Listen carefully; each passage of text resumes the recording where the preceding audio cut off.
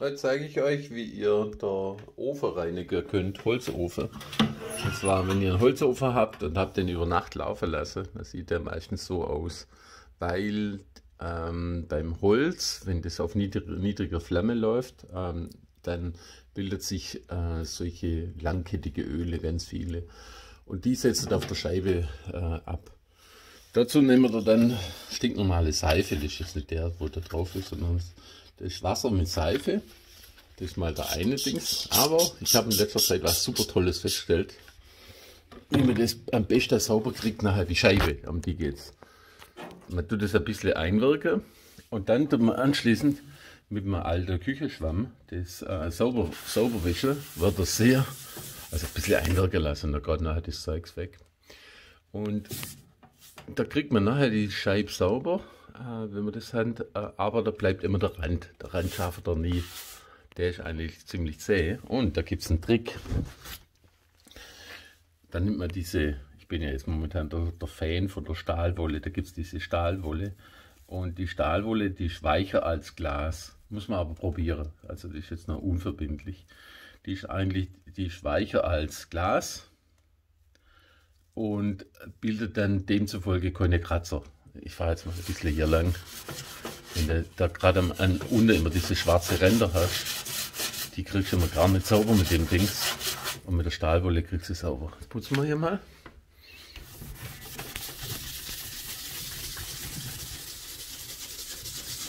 Lasse das ein bisschen einwirken. Und dann nach. Und durch meine macht der Innenraum so lange leer.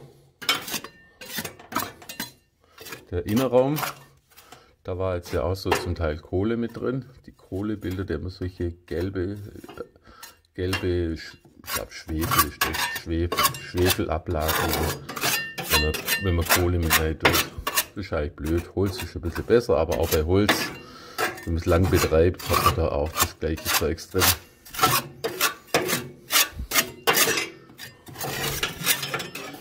die ein Holzofen bildet immer bildet immer Staub. Und neuere Holzöfen die haben, haben auch einen Staubfilter deswegen drin. Jetzt einfach diesen ganzen Busch und eine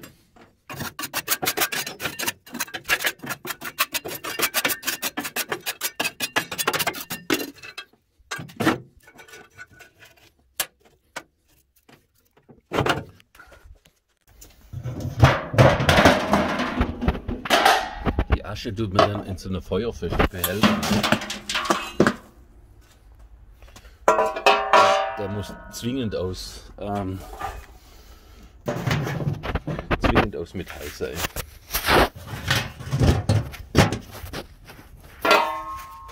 Jetzt gehen wir nochmal, jetzt haben wir das ja einwirken lassen, jetzt gehen wir nochmal zu der Scheibe ein bisschen, machen das noch ein bisschen nass.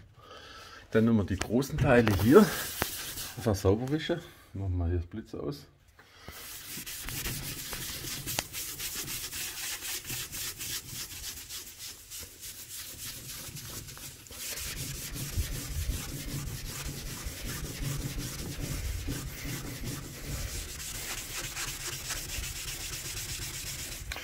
Und bei den Schwämme bitte nur die lila Dinger nehmen, nicht die gelben Schwämme.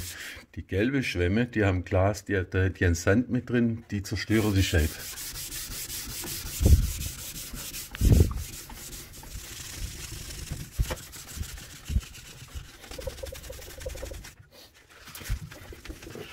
Dann nehme ich so alte Küchentücher, die irgendwie verbraucht worden sind für die Glasscheibe.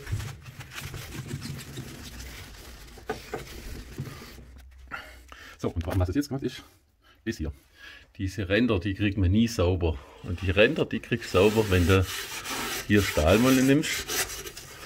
Aber, wie gesagt, man muss vorher die Scheibe prüfen, ob die keine Kratzer kriegt.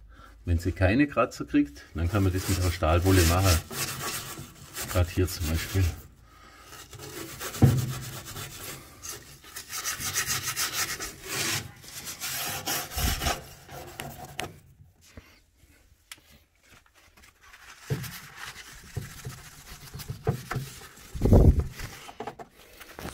Alles rausgemacht hat, dann kann man mit, normalerweise muss man so ein kleines Holz unter mit rein oder man nimmt Zeitungen, Mülle und bildet jetzt diese Schichtauflage. Beim Holzkeller nehme ich dann normalerweise große Stückle, mehrere.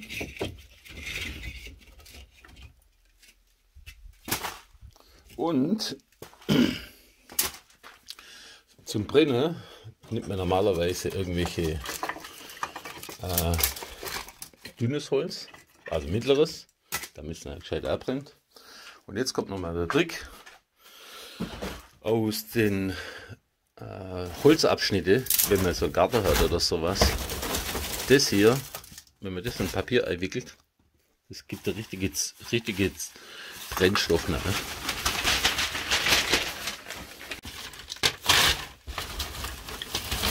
Das ist so Kleingeäsch, was jeden Sommer im, im Garten erfällt. Nehme schon ein paar Hand davor.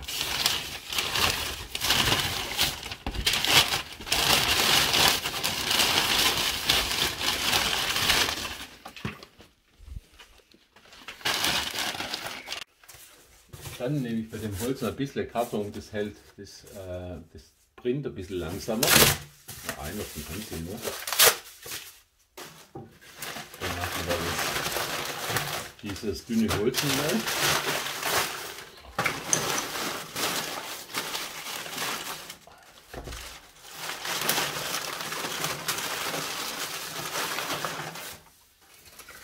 Dann kommt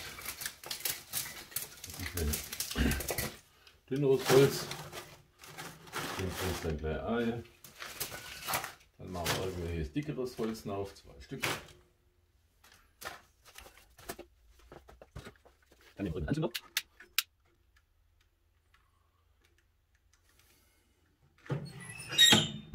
dazu. Der Zug stellen wir beide Züge auf groß. Jetzt warten wir mal.